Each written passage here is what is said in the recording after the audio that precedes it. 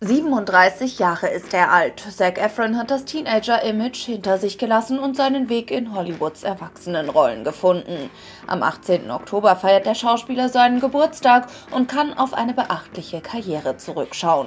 Von seinem Teenie-Ich ist nur noch wenig übrig. Im Vergleich zu alten Aufnahmen ist der einstige Highschool-Musical-Star nicht mehr wiederzuerkennen. Von der lässigen Surferfrisur machte er den Umweg über Blondierungen und ist nun wieder zurück bei seiner Naturhaarfarbe. Doch vor allem sind es die Gesichtszüge, die vollkommen anders wirken. Unter Fotos des Schauspielers sind viele Fankommentare zu lesen, wie zum Beispiel Was ist mit seinem Gesicht passiert? Schon 2021 kochte zum ersten Mal die Gerüchteküche hoch, ob er sich einer Schönheits-OP unterzogen hat.